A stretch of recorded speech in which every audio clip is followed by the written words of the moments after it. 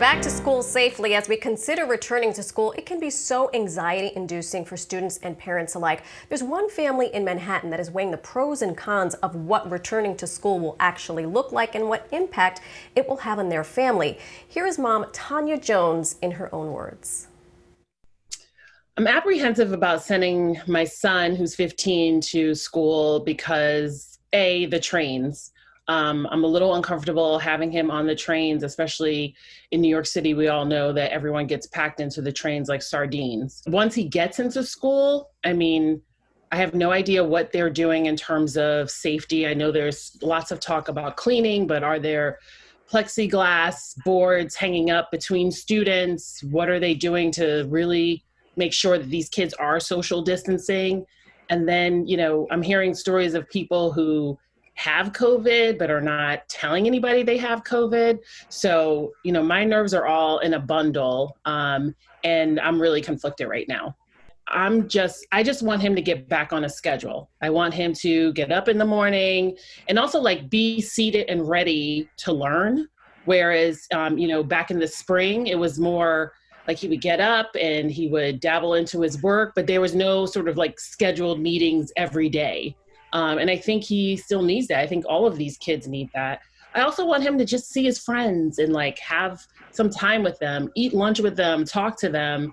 Um, even though he's had the summer to see friends outside and social distance, it's a little, it's different. It's not the same.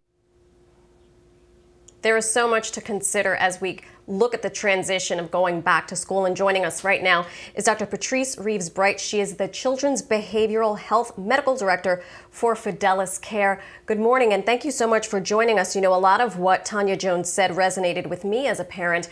It is very much a personal choice, uh, but what are you encouraging families to do? Some of us have the option to do hybrid, some of us don't. So, so what are you encouraging parents to do?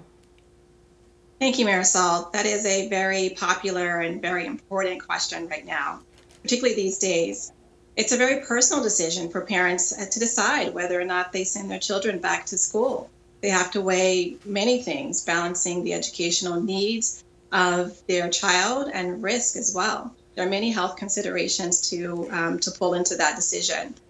Um, every situation is unique, I can't speak to individual families, but I do recommend that parents speak to their pediatrician or healthcare provider to help them make that decision. So, how do we go about prepping students? Because, um, you know, we heard her say, gosh, I, am so excited for a schedule, but there are also some safety concerns. You know, she mentioned putting her son on a train. Um, some, we don't know what that's going to look like. So, how should we prep students as parents uh, when, they, when they embark out? Absolutely, that's a great question. I think one of the most important things is to work with your work with your child to establish a routine.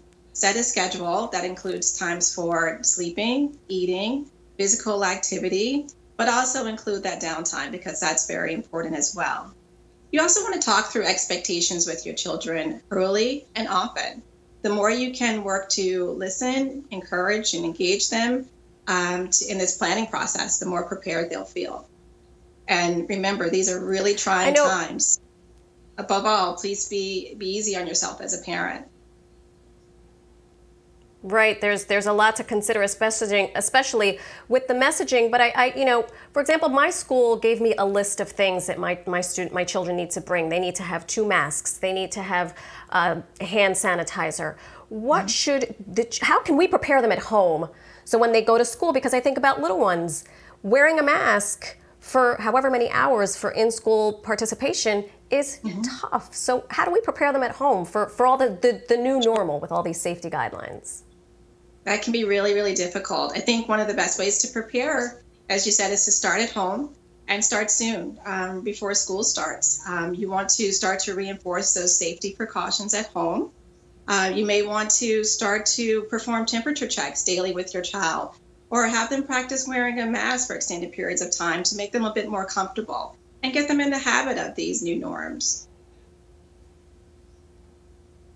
So, so, so very important. And also, very briefly, the way we bring this message to our children is just as important. If we're hysterical, our children will be hysterical. So, what words of wisdom do you have for us as parents at home watching when we talk to our children about this new normal? Sure. That's so very true. Uh, Marysol, even when we think our kids aren't watching, they are watching. Children learn behaviors by watching their parents and other adults. They watch how we manage our stress. They watch how they see how we express our emotions. And during these times of uncertainty, it's very natural that we're all experiencing periods of fear and anxiety. But I think that's even more important right now for parents to really work to be a positive role model, show their kids how to, you know, respond with resilience and flexibility and openness to change. Dr. Patrice Reives Bright, thank you so much for your words of wisdom this morning. We certainly appreciate it.